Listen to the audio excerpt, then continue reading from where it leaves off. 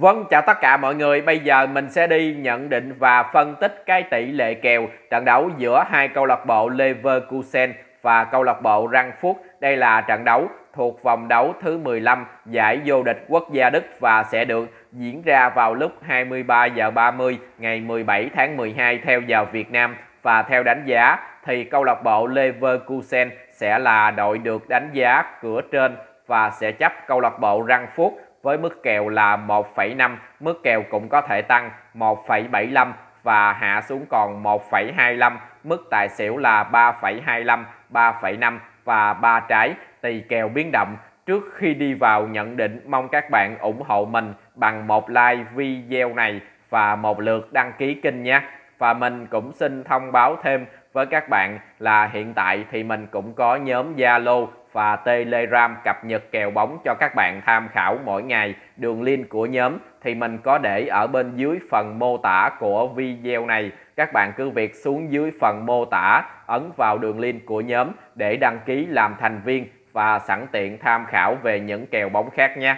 Và bây giờ mình sẽ quay trở lại với cái phần nhận định bóng đá của trận đấu này.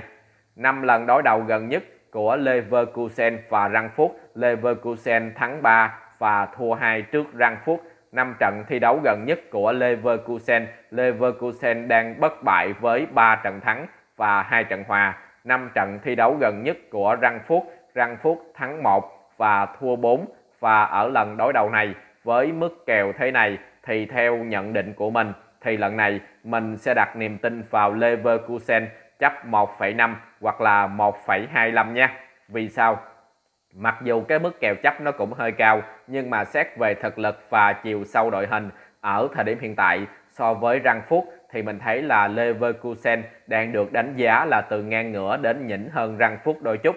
Thứ hai nữa thì trận này Leverkusen có được điểm tựa trên sân nhà và thứ ba nữa thì xét về phong độ cũng như là thành tích đối đầu của hai đội ở những lượt trận gần đây thì thậm chí là Leverkusen họ cũng còn đang vượt trội hơn so với Răng Phúc nữa. Cái thành tích thi đấu trên sân nhà của Leverkusen mỗi lần tiếp đón Răng Phúc á, thì mình thấy là Leverkusen đều tận dụng được tốt cái điểm tựa này để vượt qua được Răng Phúc và cái phong độ thi đấu trên sân nhà của Leverkusen thời gian vừa qua nó cũng đang khá là ổn định và ở lượt trận này tiếp tục gặp lại Răng Phúc đang mất phong độ như thế này, thì đây sẽ là cái cơ hội không thể nào tốt hơn để cho Leverkusen có thêm một chiến thắng nữa và củng cố vị trí đầu bảng của mình. Với việc trận này hầu như là Leverkusen họ sẽ có được sự phục vụ của đội hình đầy đủ nhất, thì với mức kèo chấp này cộng với phong độ ổn định và hiệu suất ghi bàn tốt thì mình nghĩ là Leverkusen đá sân nhà thì họ sẽ vượt qua được cho nên bạn nào tin tưởng mình ưu tiên chọn Leverkusen chắc nha.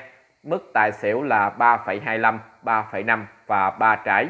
Thì những lần gặp nhau trước đây của hai đội thì thường mình thấy nó cũng có từ 3 hoặc 4 bàn trở lên. Với lại là cái hiệu suất ghi bàn của hai đội thời gian gần nhất nó cũng đang rất là tốt. Dự đoán trận đấu này sẽ là trận đấu hấp dẫn và nhiều bàn thắng được ghi. Có thể là 3-1 hoặc 4-1 nghiêng về cho Leverkusen. Bạn nào tin tưởng mình nữa thì ưu tiên chọn kèo tài trận này nha. Nhưng mà theo mình thì trận này các bạn chọn Leverkusen không cũng được rồi.